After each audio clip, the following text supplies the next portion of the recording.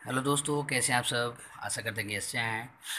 और यहाँ पे एक प्रतिशत निकालना हम लोग सीखेंगे, एकदम बेसिक से सीखेंगे प्रतिशत निकालना, ठीक है? यहाँ पे दिया है दो सौ साठ का पंद्रह प्रतिशत। तो हम लोग जानते हैं दो सौ साठ और का मतलब हम लोग लिखेंगे गुणा। और यहाँ पे है पंद्रह और प्रतिशत का मतलब होता है बट्टा में हंड्रेड ठीक है? बस ये हो गया। इतना ही करना है प्रतिशत निकालने के लिए। का मतलब गुणा, और इंग्लिश में इसको ऑफ़ लिखता है, ठीक है? ऑफ़ लिखता है इंग्लिश में। एक ज़ीरो से एक ज़ीरो कट गया। ये आगे सॉल्व कर लेते हैं। छब्बीस गुणे पंद्रह बट्टा में दस। ये तेरह दूना छब्बीस तो ये पाँच दूना दस, और ये पचतियाँ पंद्रह। तो यहाँ पे तेरह तियाँ, उनतालीस इज़ द राइट आंसर ठीक है? अगला देखते हैं। चार सौ बीस का बारह प्रतिशत। इसको यहाँ पे चार सौ बीस और का मतलब गुणा और बारह है तो बारह बट्टा में हंड्रेड। एक ज़ीरो से एक ज़ीरो कट गया। यहाँ पे बयालीस में बारह का गुणा करेंगे।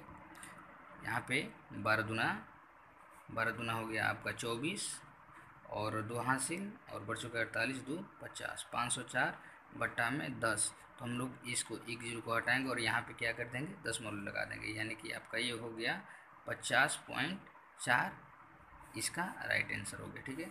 अगला है नौ सौ का चालीस प्रतिशत। तो यहाँ पे नौ सौ का मतलब हो गया गुणा और चालीस बट्टा में हंड्रेड तो ये दो ज़ीरो से दो ज़ीरो कट गया, ठीक है?